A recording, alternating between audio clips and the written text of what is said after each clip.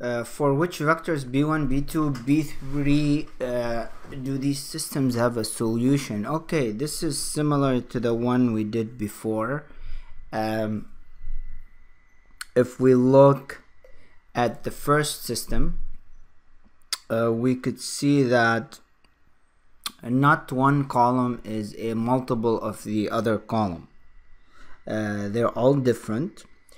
Um, so therefore the column space for this one so uh, basically any values uh, of b the system will have a solution because you could see from the third row x3 equal b3 and give any value to b3 uh, that will give a value to b2 in a, which in of itself will give a value to b1 so basically uh, any value of b uh, the system will have a solution and therefore um, the uh, column space is R3 um, so for this first system here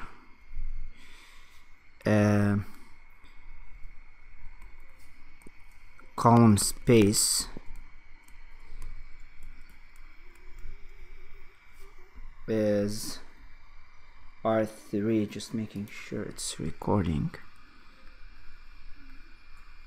And uh, uh, B could be anything. B equals C. Anything.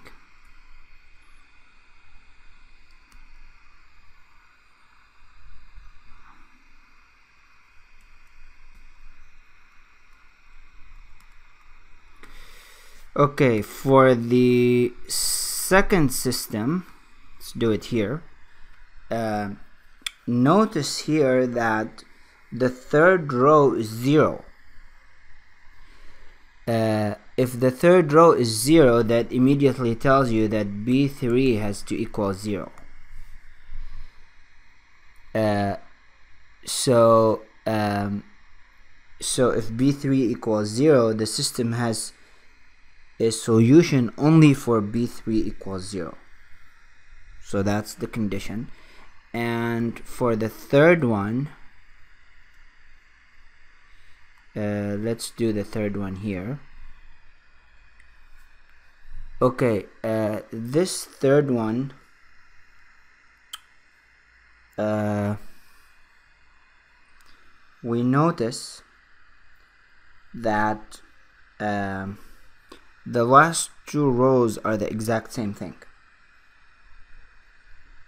Uh, which means uh, technically b3 has to equal b2 uh, and if you want to really work it out uh, you could um, uh, rewrite row 3 uh, as row 3 as minus row 2 plus row 3 so the matrix becomes 1 1 1 uh,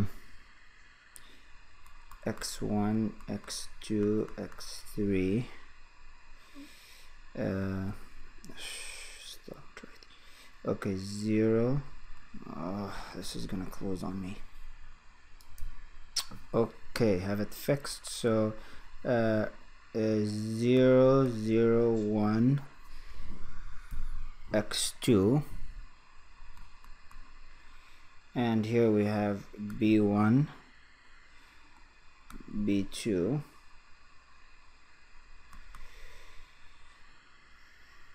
and uh, I will get here 0 0 from that row operation. Uh, minus 1 plus 1 is 0 x3 and this will get me uh, b3 minus b2 or minus b2 plus b3 and uh, we can easily see